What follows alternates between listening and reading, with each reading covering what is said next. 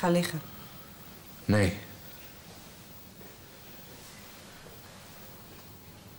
Ik haal iets te drinken. Of wil je iets eten? Nee.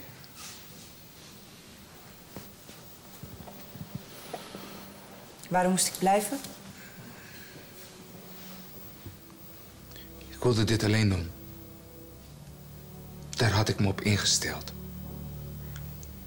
Maar jij ging niet weg, je liet je niet wegsturen.